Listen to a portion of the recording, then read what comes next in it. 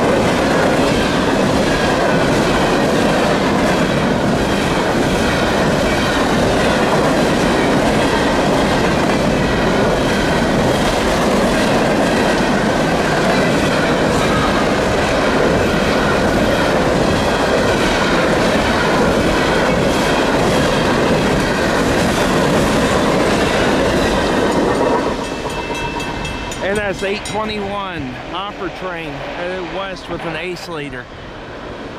Thanks for watching. Wow, that was a long look. I'm glad I got him.